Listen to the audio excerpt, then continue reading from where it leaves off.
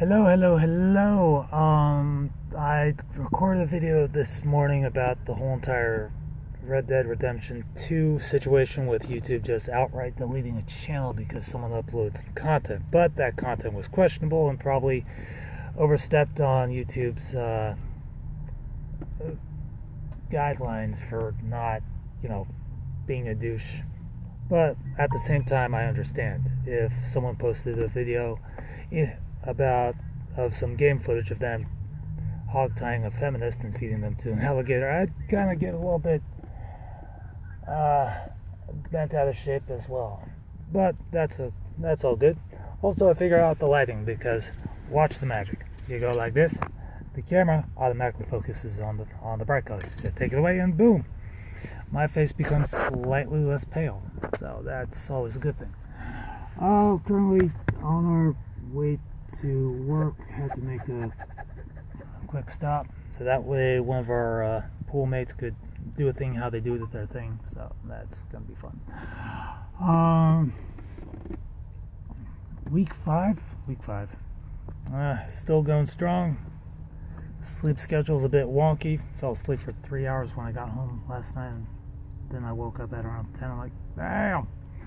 So, yeah, um, anyways, that's about it. I can't really think of anything else to say except, you know, Dem's got the house. Then, yeah, whatever. It's not like I have no idea. I just don't.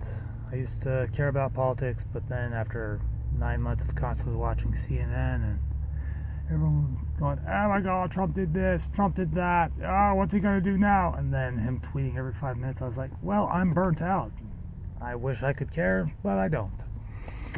There are some issues that I do care about, some that I don't, but eh, that's neither here nor there. Although that BS he tried to pull by saying that at any point in time he could just sign an executive order and it become law, and going, I'm going to end the 14th Amendment. That is not how any of that works. You have fun with that. You amazing, not really person, you. Um, so, thanks so much for watching.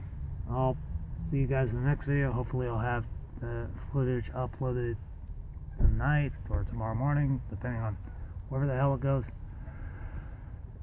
Also, I can't stop thinking about raw chicken with boobs there's an app I installed and then I was messing around with it. I'm like, oh, what's that? Turn out, you know, that raw chicken you buy from the store. Well, it ended up being a lot more breast meat than I intended with the product. That was something. Also, so thanks so much for watching. As always, I'll see you in the next one. Bye bye.